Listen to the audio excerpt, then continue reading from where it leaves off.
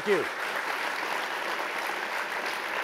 Thank you all very much for the kind introduction, Dean, and thank you all for a warm welcome.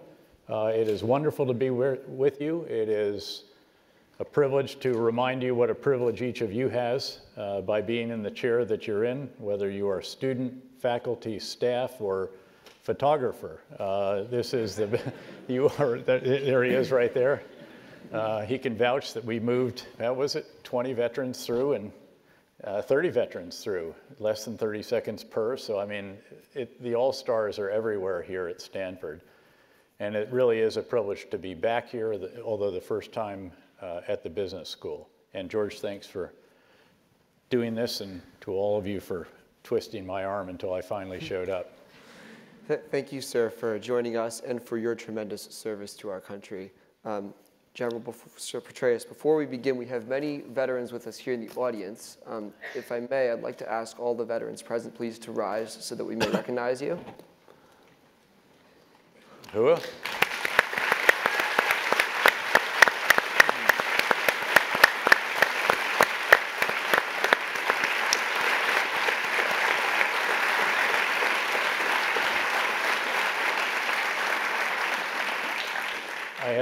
Chance to meet with most of them beforehand, uh, and obviously thanked them for all they've done, uh, particularly since 9-11. Almost all of them are members of what we term the new greatest generation, uh, and very much deserve the, the recognition that you all have kindly just provided to them. But it was wonderful to be back. These are members of my tribe.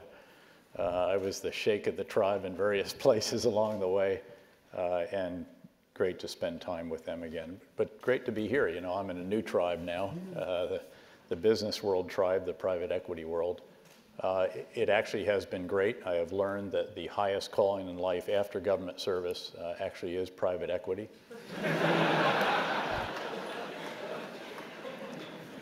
I'm not joking. um, it really is. I actually believe in the concept where you provide not just capital, uh, but expertise, assistance, support, guidance, and all the rest of that to, to firms, mostly private, although we do do public equities. By the way, I must confess that I took the position with KKR without a complete understanding of the difference between private and public equities. I've sought to learn a few things in the last five years, but there's a great business world out there for those of you who haven't been in it already. Uh, and the the inherent strengths of the U.S. system are, are quite substantial despite the, the occasional shortcoming or noise that we may experience as well. Go ahead. Sir, we will uh, definitely get to that part of your career. Um, to kick things off, I'd like to start with some examples of leadership and judgment from your military career. Um, you've described the ideal leadership style as adaptive and affirmative. Uh, drawing from your own experiences, could you elaborate on what that style looks like in practice? Sure. Um, I mean, adaptive is pretty straightforward. Uh, it essentially means that you are learning faster than the competition. In the battlefield, we, we literally had a saying. It was in the counterinsurgency field manual, in fact, that we drafted when I was a three-star back in the States between the three-star and four-star tours in Iraq. We said that the side that learns the fastest typically prevails, and the same is true in any uh, endeavor, any walk of life. So you're constantly trying to figure out how can you learn faster? Uh, how can you become a learning individual and how can you ensure that your organization collectively is learning? And it's not enough just to say it or to repeat it or to emphasize it, write about it. You actually have to have formal mechanisms uh, to sit down and consider what is it that we should have learned. I might, in fact, right here just sort of talk about, because everything keeps coming back to what I've described as the tasks of a strategic leader. There are four of these tasks. They are equally valid in the business world, the military world, the intelligence world, any world. Uh, essentially, the strategic leader for an organization, or sometimes co-leaders, as the case at KKR and many other businesses, uh, is the the tasks are to get the big ideas right, in other words, to get the right strategy, to communicate those effectively throughout the breadth and depth of the organization, to oversee their implementation, and then to determine how you have to refine the big ideas and do it all over again and again and again. And facilitating adaptation and being an adaptive leader uh, means that that fourth step is a formal step. This isn't something that you just sort of do while you're running or in the shower or moments of reflection or something like that. You have to actually sit down and there's a structured process by which those who are who you're privileged to lead, and it could be 165,000 American men and women in uniform in the surge, or 250,000 in Central Command, um, or you know it can be 60 people in a startup. Uh, but the strategic leader has to get those tasks right regardless. Um, I often said that the surge in Iraq that mattered most was not the surge of forces. We added 25,000, 30,000 forces to an existing nearly 140,000 and drove violence down by 85% in 18 months after it had been going up and up and up and up and up. Um, and the reason for that was not the extra forces. It wasn't that surge. It was the surge of ideas, the big ideas. And every one of the big ideas was 180 degrees different from what we were doing before. Most significantly was that we'd been withdrawing from living with the population, getting out of the people's faces, as it was termed, because we thought we were part of the problem instead of part of the solution and because the prime minister wanted us to hand off more rapidly to Iraqis tasks that they couldn't handle. But we were consolidating on big bases. And the more we did that, you ended up with a situation that was captured brilliantly in a New York Times story, the title of which was Driving Around Baghdad Waiting to Get Blown Up. This is how a sergeant first class described what he was doing on a daily basis in Iraq, because they'd basically leave their big base, they'd go drive around the neighborhood a few times, every now and then they'd get blown up, and then they'd go back to the big base generally uh, for dinner or for, for the night.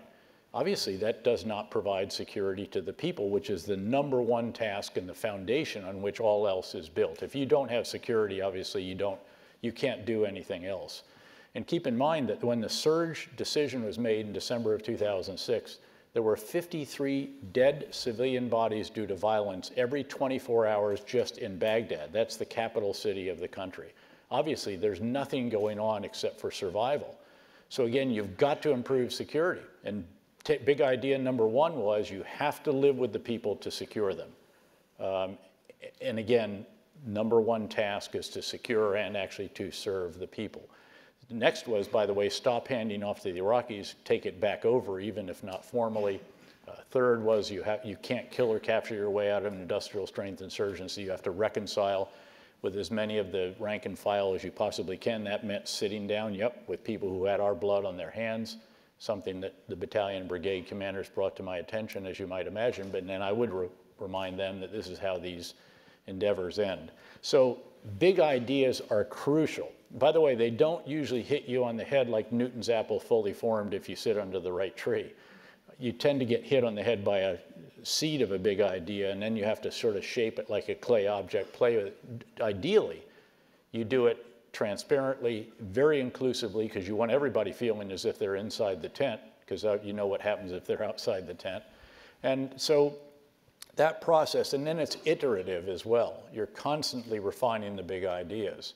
Uh, but what got me started on this is, again, the need for that fourth step, which is a formal process uh, in our case, we had all these lessons learned teams on the battlefield. I used to remind them that they weren't le learning lessons, they just identified lessons, but I wasn't going to change the signage on all of their headquarters. That would cost too much.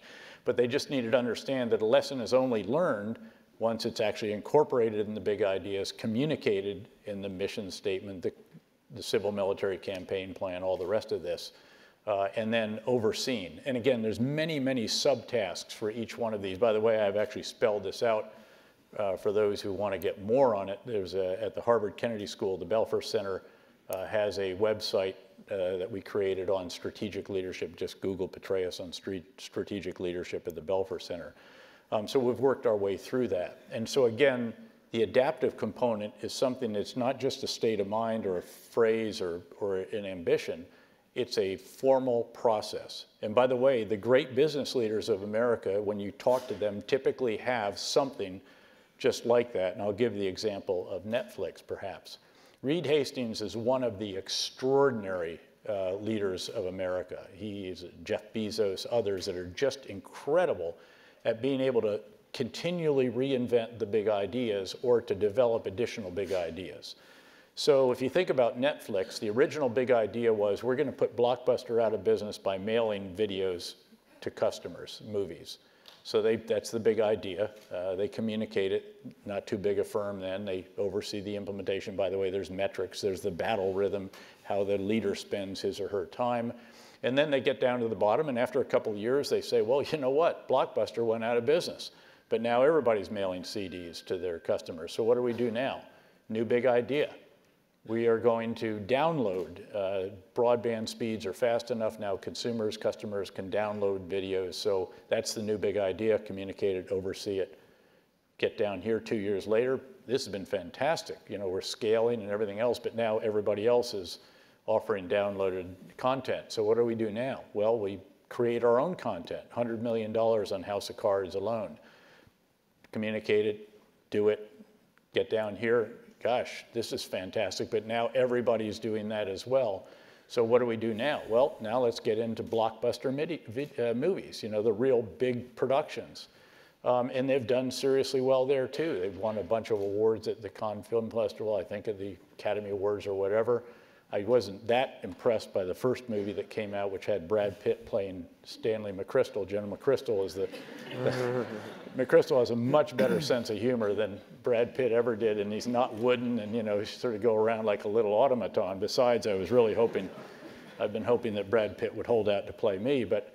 Um, there was a little cameo in there, but the guy he, that he's was, a bit tall. Yeah, well, I guess I know.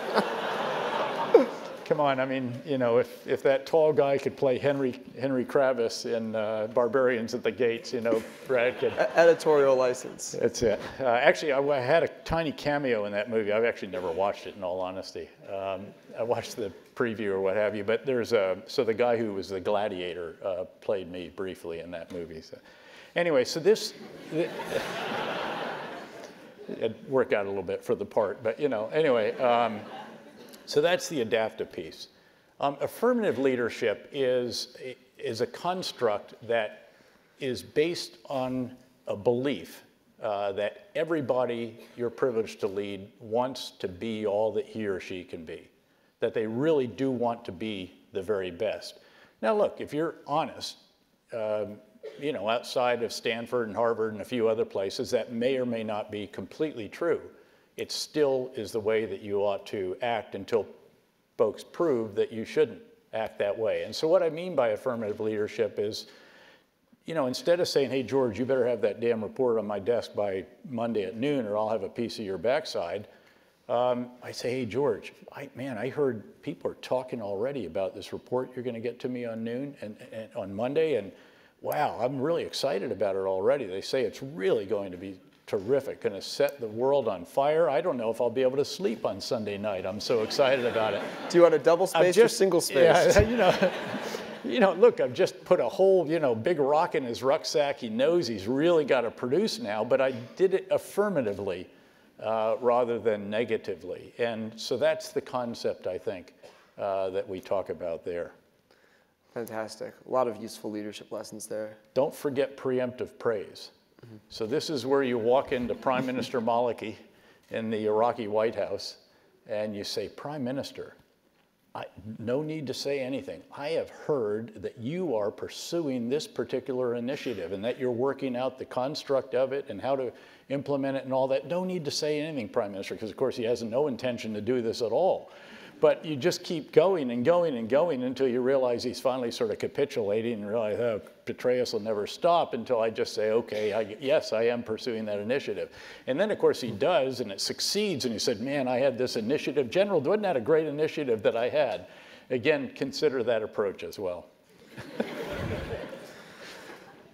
I, I, wanted to return a little bit to your, to your military career. You've talked a bit about the surge. Mm -hmm. um, and, you know, I, I think all of us could benefit a lot from understanding um, how you, at this point, you staked your career on this, on this strategy.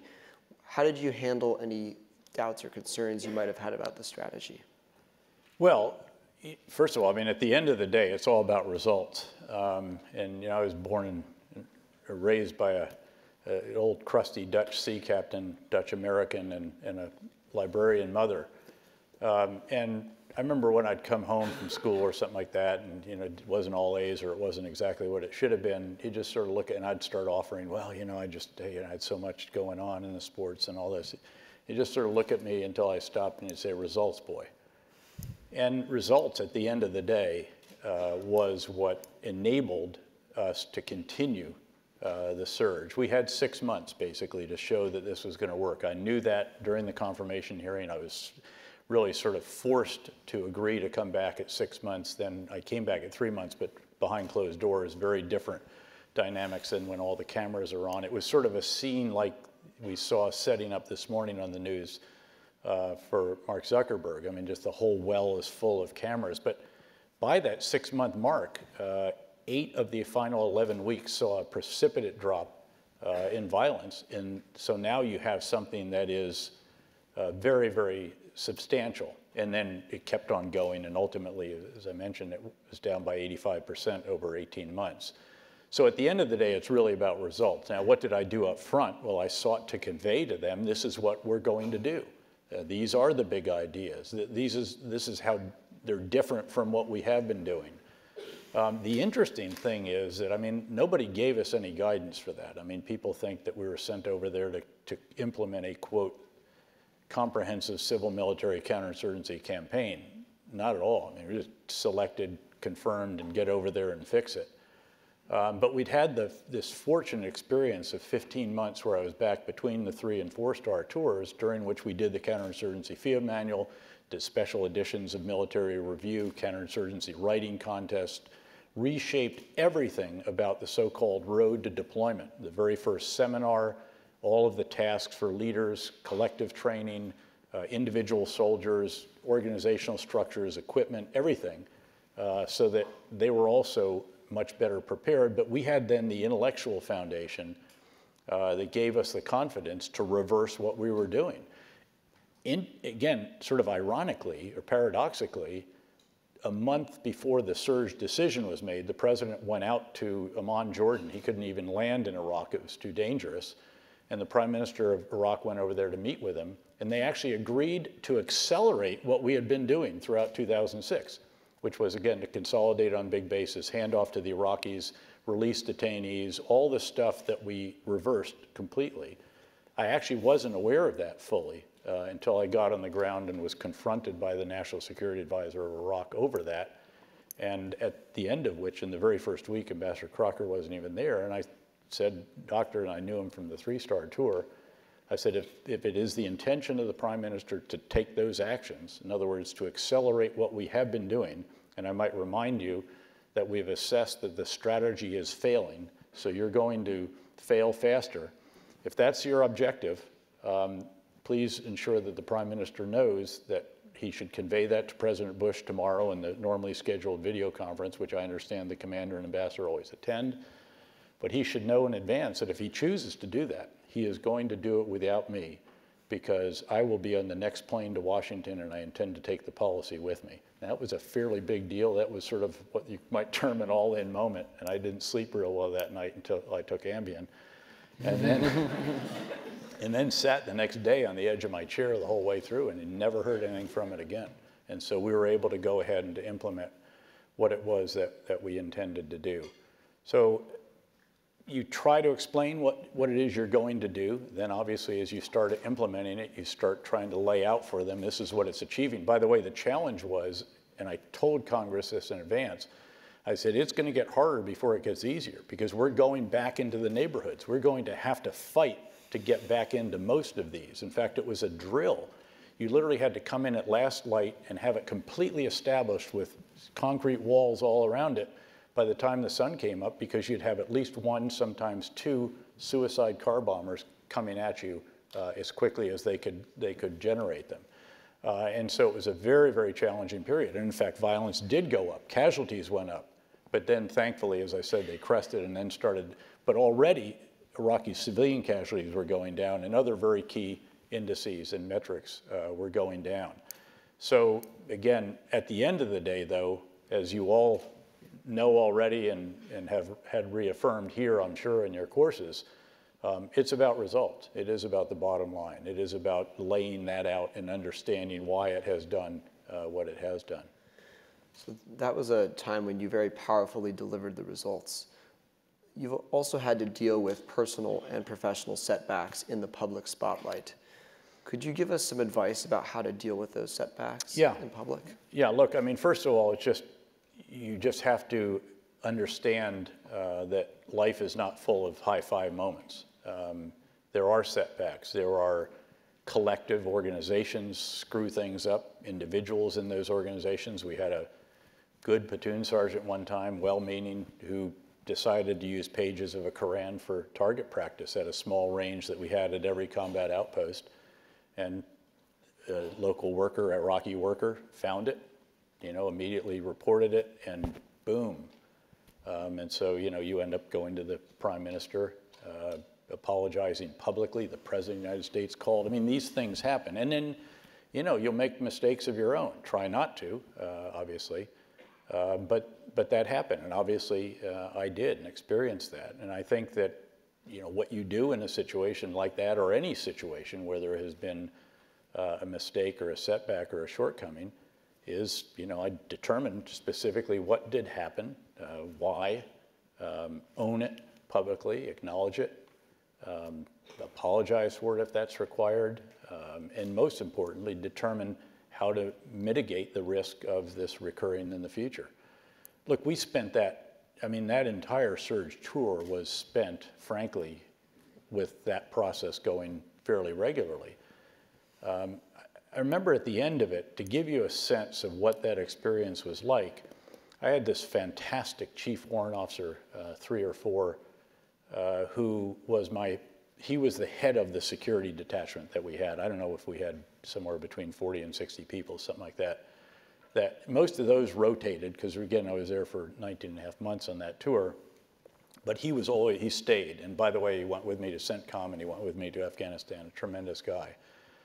Anyway, we're coming to the end of the surge, and, and every now and then at night, uh, we lived in a huge old palace complex, and it was had a man-made lake in the center of it. It was quite vast. I mean, we had a six-mile running route inside this compound. But I'd go for a walk uh, late at night before turning in, and just to sort of gather thoughts and think about things. And we just walk along the, the water and then come back. And he would always go with me. We didn't need anybody else, but just to make sure. And he had communications as well. And normally we didn't talk or anything like that beyond a few pleasantries. And this time we are about halfway through it, and I, he turned and he said, "Sir, can I ask a question?" I said, "Sure, Chief." Um, he said, "What has it been like? Uh, you know, you, what's it been like to command this surge? You know, you're criticized, you're vilified, you're attacked by a full-page ad in the New York Times personally by." Uh, an activist organization on the day of your biggest testimony. I mean, it, you know, sort of, we've had tough casualties, we've had this, we've had that, but by God, it's worked. And now everybody, even the fiercest critics, acknowledge it. You know, what's it been like? And I said, Chief, um, it has been the most awesomely awesome of experiences on a good day. And we had less than this number of good days. so, I mean, it's a grinding experience. And leadership is like that. Um, again, leadership is, is not always in, in an upswing cycle. You know, we're, we're we're actually trying to remind ourselves at, at, KKR that we're 104 or 105 months into this particular recovery. It's, it's approaching the second longest in our history. I think 120 is the longest ever. Um, we have people in the firm who have never been in that firm when there has been a downturn. Um, and so we're actually talking about wargaming the winter is coming scenarios. Um, I didn't know what that was, and they had to explain to me that there's this series called Game of Thrones or something. And I guess winter is always coming or something. But, uh, but that's so we're actually you, you you and again we know there's going to be tough times during that. And so what is it you do to prepare for that? How do you how do you you know prepare yourself personally for that kind of experience? But it is it's a grinding experience, and the more public it is, the more you know, you've been run up the flagpole, uh, the more that is the case. And in those, those grinding experiences, you, you clearly need to have a lot of internal strength. Since, since you stepped down from the CIA, you've worked very hard to build a new career and continue serving the country. In those difficult years that followed, how did you summon the strength to carry on? Well, I think, you know, uh, you got to realize that life goes on, or it should. Um, and then you start figuring out, okay, you know, what are the options? Uh, what is it that would be fulfilling, rewarding, um, you know, help pay for the grandkids' education and a few other things like that. Um, and in my case, it was the idea of intellectual stimulation. Um, I don't mind travel. I mean, we just, I was in 22 countries last year alone, one of them, I think, six or seven times. And so, you know, busting your butt is, is okay. I mean, I've got many of my West Point classmates are literally completely retired. Um, some of them are literally down in golf communities in Florida riding around in golf carts and trying to persuade me to come down there. And, you know, what an awesome thing that is. And I think that's where I might actually pull out the service pistol and consider. But, uh, I mean, I, you know, again, you, I actually outlined a leadership book. Um, it was titled Relentless, colon, um, leadership lessons learned, dash, dash, some the hard way. Um, and so, but I was very, very fortunate. I mean, people called immediately and said, hey, when you're ready to resurface, come on up, come on up. I knew Henry Kravis before, that was one of, he was one of those, but there were a number of others. So there were tremendous options, but then I deliberately also um, chose to do some that were in the academic world. Uh, I taught for three and a half years every week, actually, at the Honors College of the City University of New York. Did it for a dollar a year the first year when, again, that same, or one of the activist organizations objected to the great salary they were going to pay me. Um, but it was about, again, the intellectual stimulation, the fun of interacting with students. It was on a course called the North American Decades, which is what I contended follows the American century and precedes the Chinese or Asian century. And the number of S's on the end would depend on how effective Washington is at turning le uh, legislative, regulatory, and policy headwinds into tailwinds, particularly with a focus on there were four revolutions that we were, we explored with a policy perspective. The IT revolution, which is the basis for most of the others, the energy revolution, unique to the US in our circumstances, and a tribute to the US because it has only happened here. Uh, the manufacturing revolution and then the life sciences revolution. It was just great fun. And then I uh, have a chair at USC where I spend a week per semester, including hosting a startup event uh, most of the times that I'm there. Sometimes it's every other. Uh, but we bring in 45 or so venture capitalists. I'm actually personally uh, invested in 15 different startups, which I just enjoy doing in part because I really enjoy young leaders with great big ideas. Uh, it's very exciting, and then you can help them. Um, then you have the firms in which we're invested. I hosted the co-founder of Lyft for dinner last night. Here we have a big Menlo Park office. Um, so it's a great, stimulating uh, life. I'm also on the speaker speaking circuit, you know, the highest form of white collar crime in America. um, I, have, I want you to know I've waived my outrageous speaking fee for this great privilege. Um, but we are very I'm, grateful for that. And then there's, you know, the four, four think tanks that I'm actively a, engaged with, and then about a dozen veterans organizations. And so, uh, plus we have a brand new, brand new granddaughter and um, our son's dog. He's actually up at Harvard Business School doing the JD, or JD MBA program, and um, and daughter and son-in-law live nearby. So it, it, I've been very, very fortunate. But you know, you, you, I was going to use this at the end, but I might use it here. Um, luck, and I've been, I don't know, accused of or described as being lucky at a number of different ventures over the years, um, including Command and General Staff College, graduate school, um, you know, Iraq, and all these others. And you know, my response to that, not necessarily directly when people are saying that, but is to offer that I think luck is what happens when preparation meets opportunity. Um, and I really sought to prepare for these opportunities. I'm, I'm very, very serious about that. And, you know, you don't want to sound presumptuous at all, but um, when I, all back, back when I was a second lieutenant, I, you know, I never really expected you're going to get to this, but by God, you know, I wanted to be prepared if the opportunity came along. And I'd been impressed by this statement that uh, Napoleon used to say that every corporal has a field marshal's baton in his rucksack. In other words, you know, be ready. You never know. A corporal could be called you know, Petraeus for field marshal. And so we were actually jumping with the British paratroopers uh, when I was in my first assignment. And uh, we had an afternoon off. We jumped all morning. And the guy said, well, you want, my fellow British lieutenant host said, you want to go to the pub? And I said, yeah, but let's stop by the, this service store. They have stores outside all the bases in which they sell old kit and new kit and all the kinds of bells and whistles that you put on your uniform. And I said, you know, I'd like to see if they have a field marshal's baton used. Um, sort of looked at me strange, but anyway, we went in there. It was run by an old retired regimental sergeant major. These guys are super crusty. And uh, he said, well, you know, what do you have? And I said, well, Sergeant Major, I wonder if you have any used field marshal's batons. Um, oh, he said, fresh out of those, mate. But, you know, we have this little swagger stick. And I actually bought the swagger stick. I tied it to the frame of my rucksack, which I used all the way through, I think, two-star division command.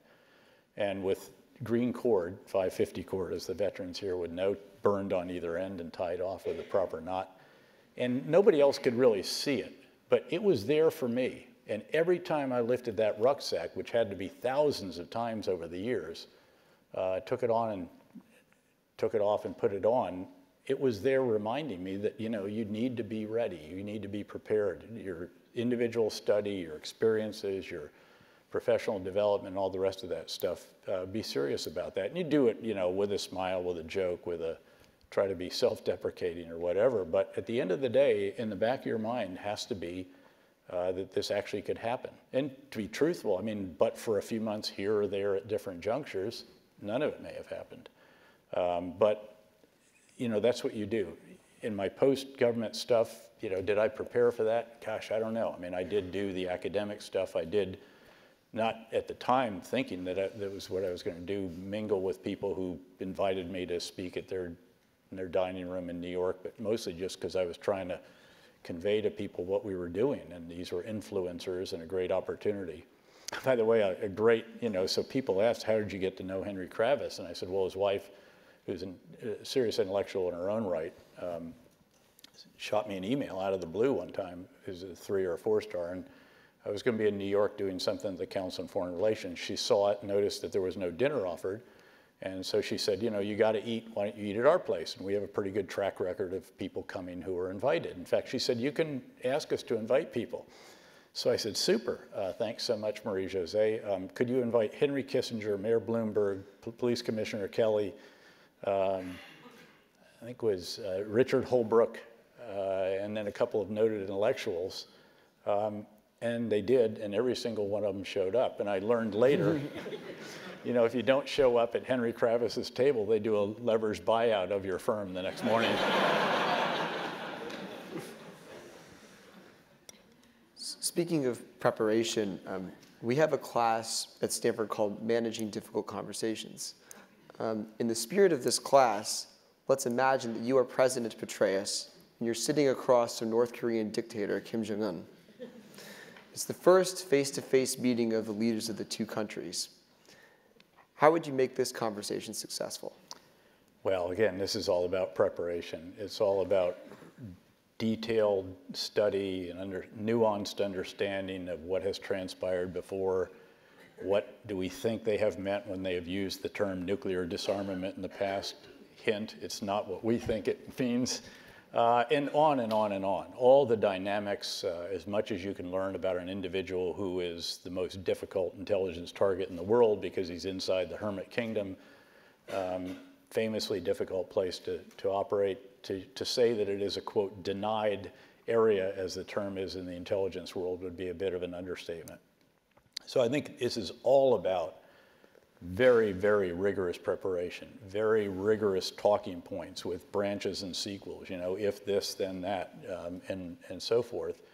But, you know, certainly also trying to establish a relationship to see if that is possible. Is there really, can you um, actually have some kind of meaningful strategic relationship? I, I am a huge believer in efforts to have strategic dialogue. I believe that you should, we should be having that with China. It's difficult if the key diplomats are changing at the rate and the key national security team members are changing at the rate that they have been. But this is crucial. I mean, if you think about what people like Henry Kissinger were able to do or others over the years that had the big breakthroughs, this came after a lot of back and forth.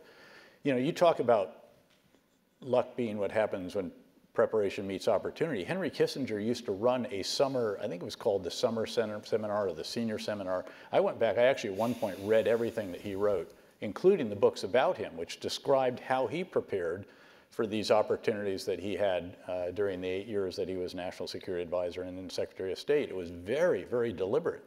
Um, he would sought to meet every you know, junior leader around the world, attract them to Harvard, have interaction with them, get to know them ahead of time. And then, of course, once he was in office, he just beat himself up on planes and everywhere else, personally engaging with them and, and again, having true strategic discussions. Now, we have to be very careful to have limited aspirations for the result of a first meeting, noting that, you know, that, that Kim Jong-un had never even met the president of China, uh, the country with which North Korea has 90% of its trade back and forth, uh, until just a couple of weeks ago. So he's also not the most schooled of individuals when it comes to this. Um, but look, this, there is hope out of this, I think. Uh, this is not a forlorn hope. And by the way, some of this is the result of the so-called maximum pressure strategy that has been pursued. I'm not saying that I would have used all of the rhetoric uh, that has been deployed at different times or that message discipline has been a sterling feature of everything that's taking place here. But the fact is that a willingness to rattle the saber has gotten Chinese attention. That has forced them, together with UN Security Council resolutions that are unprecedented, uh, to actually really tighten down on the umbilical cord that literally keeps the lights on in Pyongyang. Uh, and again, 90% of it running to and from uh, China. So that has been a key catalyst for what is happening. And folks who have been part of that deserve some of the credit for that, without question. Um, and, and now we'll see if, again, this very rigorous preparation can be undertaken uh, in order to capitalize on the opportunity that, that results. You've spoken a bit about how this um, saber rattling has taken place very publicly with a lot of media coverage. It seems that there is a real role for the, the conflict and its resolution in, in the way that the media are managed. Drawing from your own experience, could you talk a bit about how you yep um, how PR and image management yeah. have, have shaped your strategy and its implementation? Sure. Um, let me start by just saying again, we had big ideas for everything during the surge, and not just in Iraq but in Afghanistan as well. Many, some of them carried over to Afghanistan, but I also note that uh, the very first time I did an assessment of Afghanistan, which was on my way home from a three-star tour in Iraq, at Secretary Rumsfeld's request, when I briefed the Secretary on return home, the very first slide was titled Afghanistan does not equal Iraq and laid out all the different ways in which it's tremendously different. And hence the reason when I was Central Command Commander and then uh, the nominee for command in Afghanistan that I said that we are not going to be able to do in Afghanistan what we did in Iraq. We can't flip this place. There's no way that changing the big ideas is going to have such a dramatic, and oh, by the way, to be fair, General McChrystal has already been implementing, so I'm going to be building on what it is that he has already uh, been putting into place. Um, but the big idea that I had about dealing with the pre press was quite simple. It was to be first with the truth. Uh, it was, again, if you have a bad day, we had a tremendous general officer, for example, when I first got there, who just found it difficult to go out to the podium. Look, these were horrible days that we were having. I mean, they blew up a part of the parliament. They dropped the old historic bridge right in the center of the Tigris River, blew up the mosque again, or a minaret of the mosque that had touched off the violence the previous year, uh, the Samarra Mosque. Uh, just day after day of this kind of stuff. And what you have to do when that happens is you go out to the podium and you say, we had a horrible day today. Uh, in Baghdad, there were three markets that were bombed by four suicide bombers, and 250 innocent Iraqis were killed.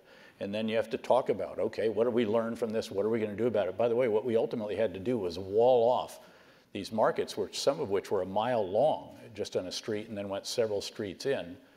Um, and they became no drive zones. Um, and so then we had to start searching the handcarts. But again, this is the level that you have to go to.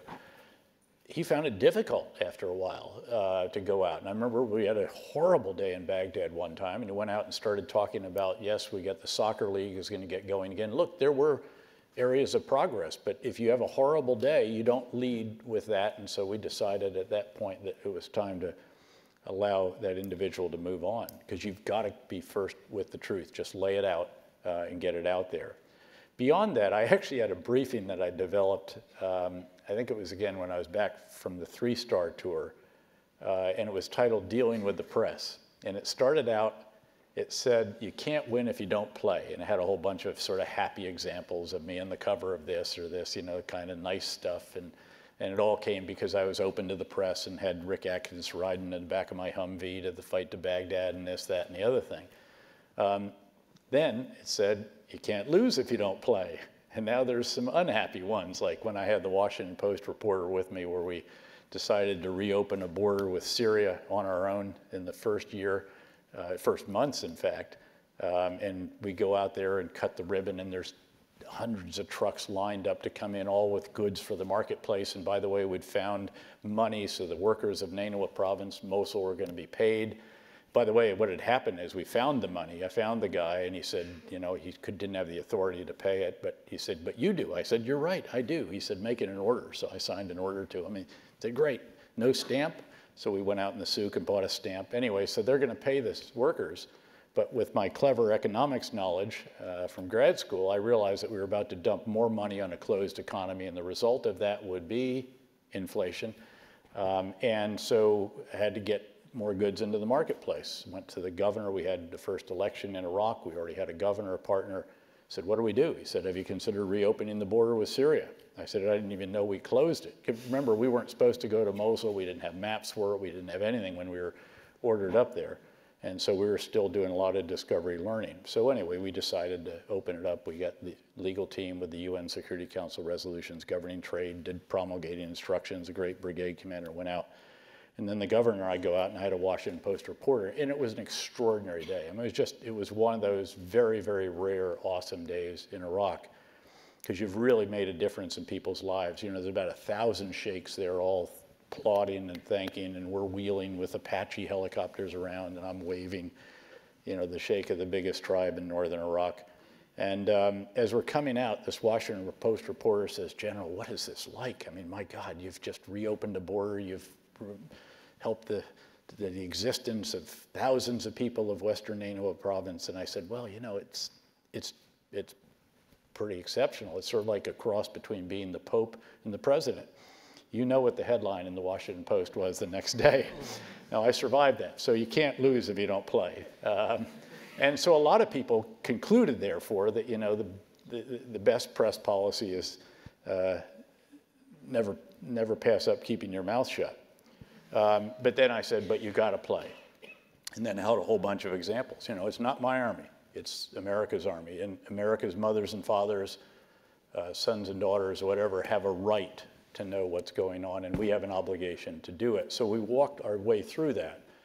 And I truly believe that it was hugely important. There have been people who have gone through missions and never gave an on the record interview, never interacted with the press, never took them with them. We always had people with us um, it doesn't mean that you're going to get favorable coverage. Uh, at least it means that they have been exposed to it.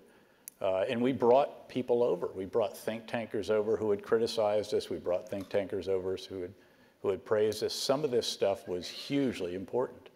Um, I remember it was an op-ed piece by uh, Mike O'Hanlon of Brookings and uh, his comrade, uh, also I, I, guess at Brookings or AEI, uh, that in June or July of the surge, so before we were saying it, said, you know, the surge just may be working. And by the way, he took huge flack for that, except that he proved, was proved to be right.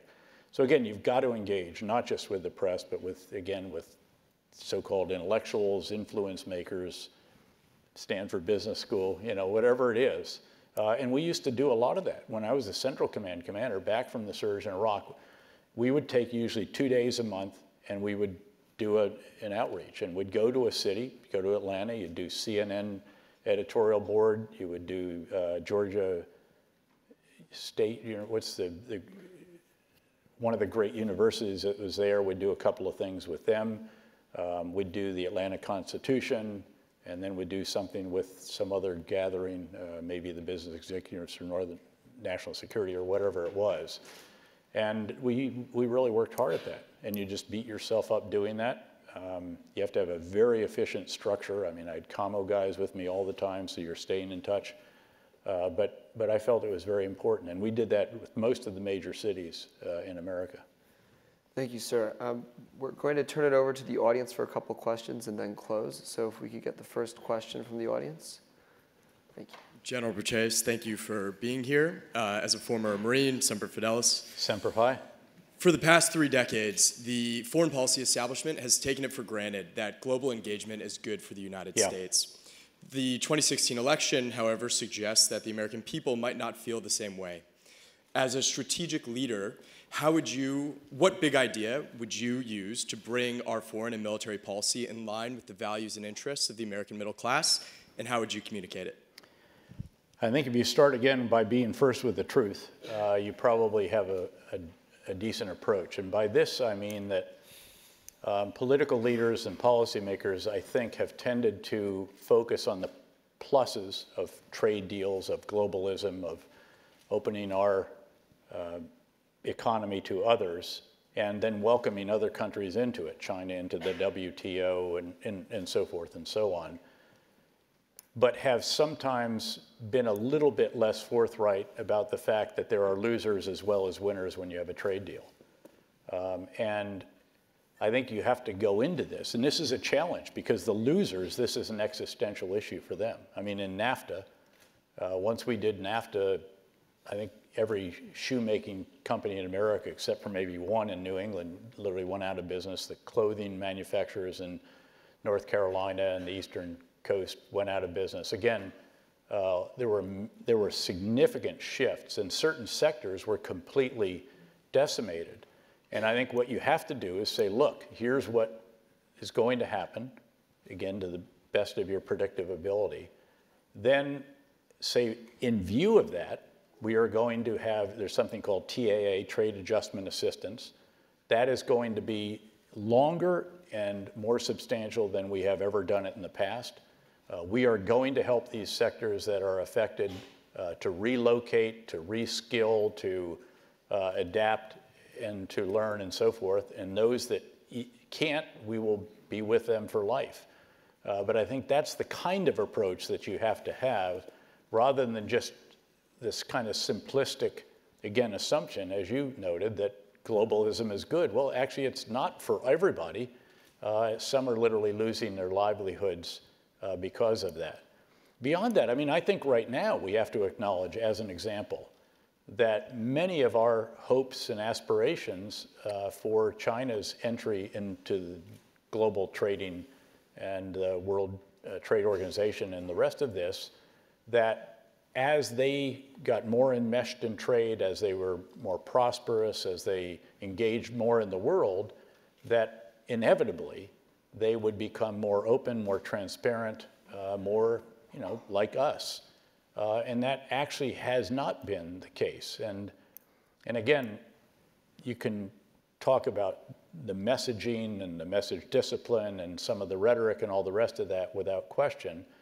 But I think this administration is the first that is actually doing something to reflect uh, the, the challenges that some of this has created for certain sectors of the United States. I am a globalist. I do believe that the, the U.S. should continue to lead the rules-based international order. I do believe that that rules-based international order uh, has served the world reasonably well since it was established in the wake of a 50-year period which saw two world wars and the Great Depression. But I also acknowledge that it is not without costs, uh, it is not without downsides as well as upsides, and that if others are allowed to lead the rules-based organization or international order, uh, they may well change the rules in ways that will not necessarily be advantageous to us. Now, again, could you do this with a little less brinksmanship? Could you, you know, et cetera, et cetera? Sure. Uh, but it does need to be to be acknowledged, and I think it was necessary uh, that that this sentiment in the country, which is substantial enough, obviously, to have an impact on national and local elections, uh, is actually uh, observed, acknowledged, and then that there are actions taken as a result of that.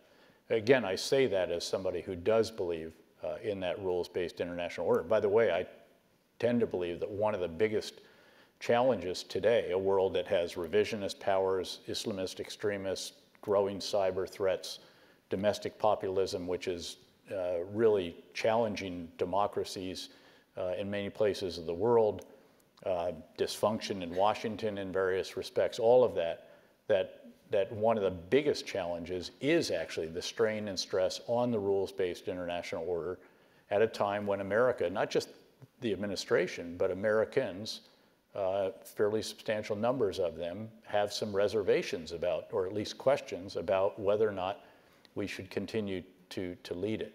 Again, I believe we should. I do believe in the freedoms that we enjoy, if, along with the veterans here, obviously, have been felt privileged to have to protect those in a sense, and by serving in the military, uh, believe that they're you know the best for mankind and all the rest of this. But but have to note that again, all of our different aspirations have not necessarily uh, come to pass.